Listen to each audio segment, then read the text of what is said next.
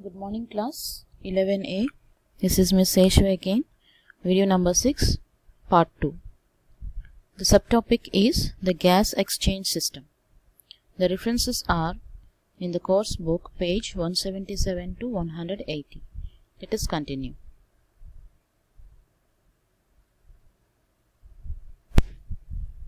In part 1 we have learned that a capillary network. That means the capillary system that wraps around the cluster of alveoli. And the each capillary is connected to a branch of the pulmonary artery and is drained by the branch of pulmonary vein. And the pulmonary circulation is supplied with deoxygenated blood from the right side of the heart and oxygenated blood is returned to the left side of the heart to be pumped to the rest of the body. So, there are some 700 million alveoli in our lungs that are providing a surface area of about 70 meter square in total. So that means it is the area for 30 to 40 times greater than that of the body's external skin. Well, the wall of an alveolus is formed by pavement epithelium that is about one cell thick. This is an epithelium is a sheet of cells bound strongly together covering internal and also external surfaces of multicellular organisms that are lying very close is very close and also for a that is a capillary. It wall its walls also just a single flattened that is endothelium that is also about one cell thick. If we combine the thickness of walls separating air and blood is typically about 2 to 4 micrometers thick. The capillaries are extremely narrow but just wide enough for red blood cells to squeeze through. So, here the red blood cells are close to or in the contact with the capillary walls.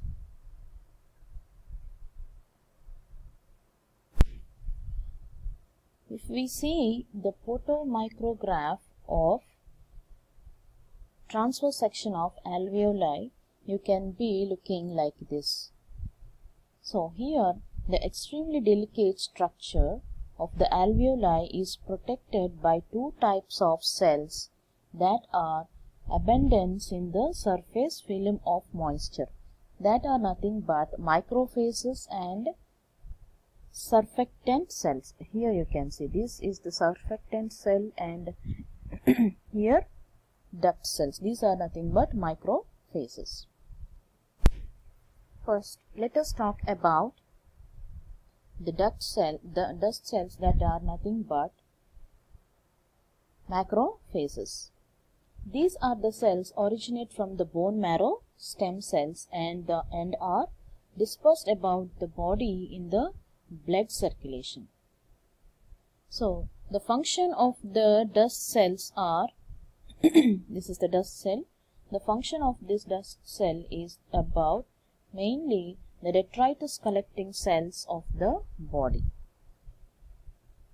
So, these amoeboid cells, you can see the structure here, you can see it's look like a amoeba. So, we can say these are the amoeboid cells migrate into the alveoli from the capillaries. From the capillaries, this will be entering into the blood. And here, these phagocytic white blood cells ingest any debris, fine dust particles, bacteria and fungal spores also present in it. They also occur lining the surfaces of the airways leading to the alveoli.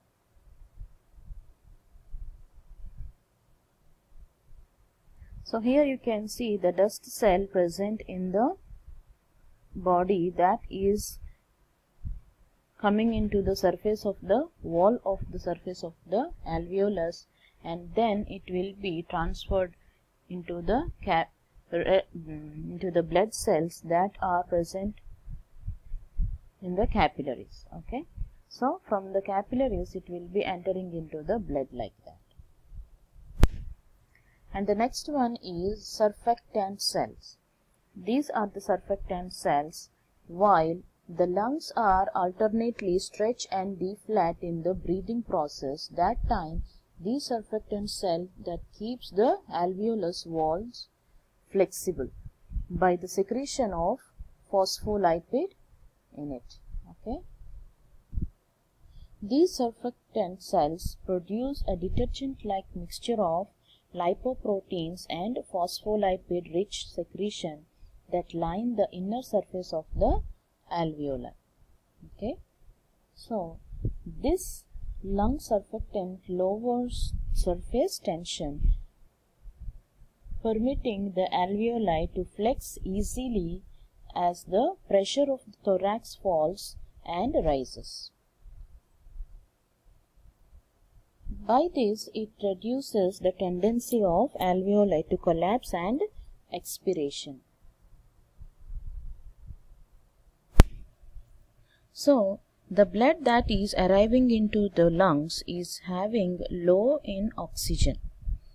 Okay, so that the blood we have in the lungs that is coming into the lungs is having low oxygen when compared to the alveolar air but high in carbon dioxide. As blood flows past the alveoli, gaseous exchange occurs by diffusion.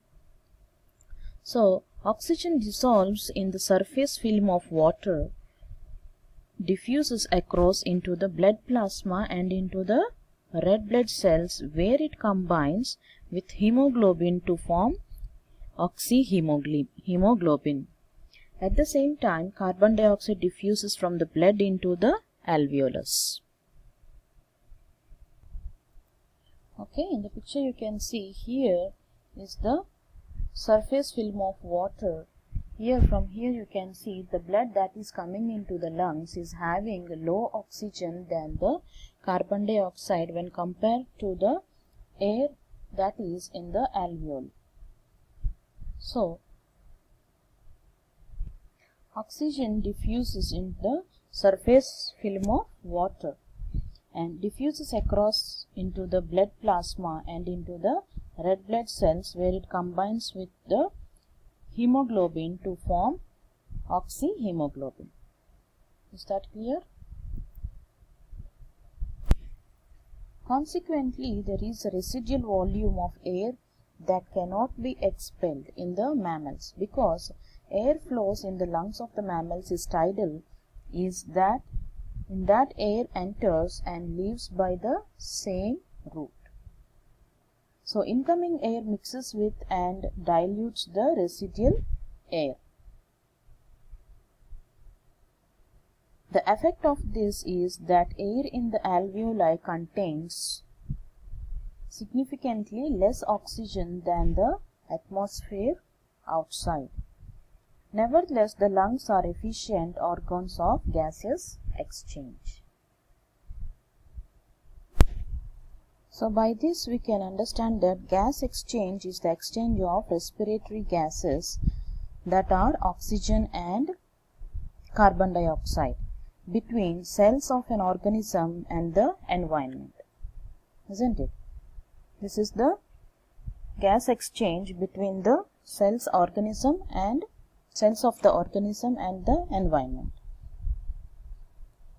But the cellular respiration is the process by which sugars and other substances are broken down into release chemical energy for other cellular processes.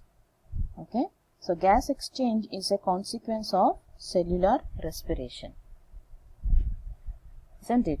So, the gas exchange is a process for the organism, cell of the organism and environment in between that two and the respiration, the cellular respiration is the substance that broken down to release chemical energy. Okay. So here the oxygen mixing into the blood to form react with the hemoglobin to form oxyhemoglobin. That is the cellular respiration. Now time to take down the notes. Here you have the notes. Open the notebook and copy down all this along with the pictures.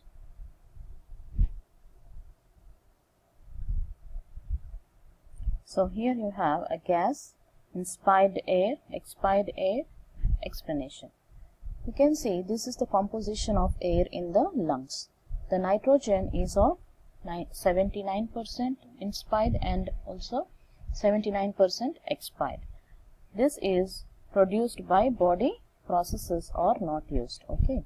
So oxygen is 21% inhaled and 16% exhaled used up in respiration and the carbon dioxide is about 0.04% of inspiration and 4% in expiration. That is produced in the respiration. So, water vapor it is a variable and the expiration the expiration is saturated. So here the explanation for the water vapor is produced by respiration moisture evaporates from surface of alveoli.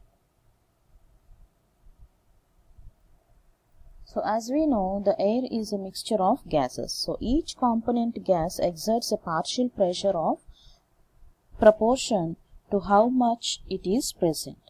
So the partial pressure of oxygen will be written as a PO2. Here in the formula you can see PO2. So in the air at the sea level you can see the partial pressure of oxygen equal like this we can write so 101.3 this 101.3 is the atmospheric pressure of oxygen that is in kilopascals okay so that is divided by 100 and multiplied with 20 that we have taken from the inspired air 20% of air, 20% of oxygen we are taking from the air when we inspire. That means inspiration. So the total will be 20.3 kilopascals. So in the alveolus if we see pressure partial pressure of oxygen equal at the sea level oxygen is 101.3 divided by 100 multiply with 14 because 14 times 14 percent we will have when we uh, when we compare to the alveolar air. In the alveolar air we have 14 percent of oxygen. So we take in here. So uh, the answer is 14.2 kilopascals like this we will find the oxygen percent in the at the sea level and also in the alveolus okay so take this also in the notebook and that's all for today. See you in the next video. Have a nice day. Thank you.